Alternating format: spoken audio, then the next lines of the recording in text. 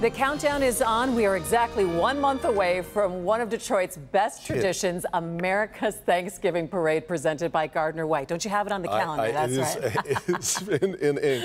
Uh, there's going to be plenty of new things to check out as the show makes its way down Woodward this year, and that, of course, includes a new round of floats. Victor Williams live tonight to help take the wraps off a brand new entry. Hey there, Victor.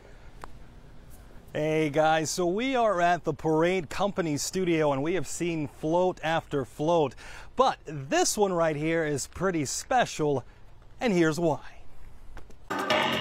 Nine brand new floats, it's, it's crazy. We've never done this before and we're so excited because it's going to be so entertaining on Thanksgiving morning. Parade Company President and CEO Tony Michaels talking to Local 4 about the very first parade float created for Pet Supplies Plus. We were founded here over 30 years ago, so right down the road in Redford, Michigan. And so again, we've got over 60 stores in Michigan, over 650 around the country, but we're a Michigan company. So couldn't be more excited to be part of this event. The newest attraction will be cruising down Woodward Avenue come America's Thanksgiving Parade presented by Gardner White, and we got to speak exclusively to Pet Supplies Plus CFO Dan McNamara, who says there's a deeper reason for the design. This float is awesome. So it's split into three sections, highlighting three different aspects of Pet Supplies Plus. The front emphasizes the company's same day delivery vehicle service. The middle reiterates how it's America's favorite neighborhood pet store. And the back is supposed to be a reminder that it's truly an amazing store experience.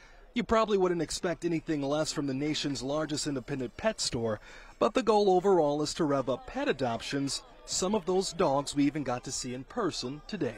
Out here today, we've got animals from the Detroit Animal Center, and so couldn't be more excited to have them here.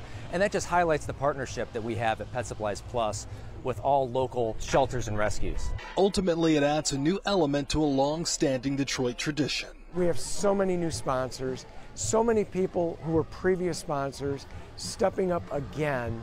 Uh, it really, truly is going to be the biggest year we've ever had. What a way to pay homage to our four-legged friends. And remember, you can only watch this float in action this year on our channel, WDIV, on Thanksgiving. Victor Williams, Local 4. These Back. are professionals. They know that puppies are the way to everybody, anybody's Aww, heart, right? Exactly. I mean, you can't lose a puppy, so no, it's really great. All you right, sure Victor. can. Yep.